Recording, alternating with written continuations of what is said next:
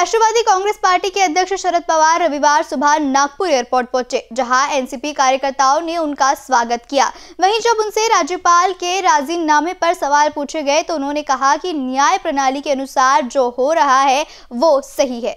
आपको बता दें कि शरद पवार आज वर्धा के कार्यक्रम में सम्मिलित होंगे, जिसके चलते वे आज सुबह नागपुर पहुँचे हैं, जहाँ विमानतल पर स्वागत स्वीकारने के बाद शरद पवार सड़क मार्ग से सीधे वर्धा के लिए रवाना हुए।